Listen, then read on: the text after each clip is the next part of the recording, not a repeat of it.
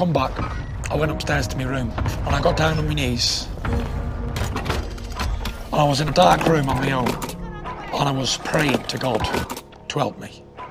I was begging, there was tears rolling down my face because I knew I couldn't do it alone.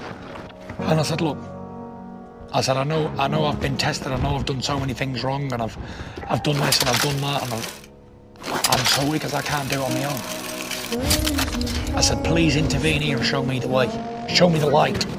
I said, because I'm sick of living in darkness. I was down there praying at least 10 minutes. And I'm an emotional wreck. Me, me, me shirt's wet all, I feel all my chest all wet. Crying my eyes out like a baby. And I got up off my knees and I felt a weight lifted off my shoulders. And I called out to my wife, I said, Paris here. She said, what?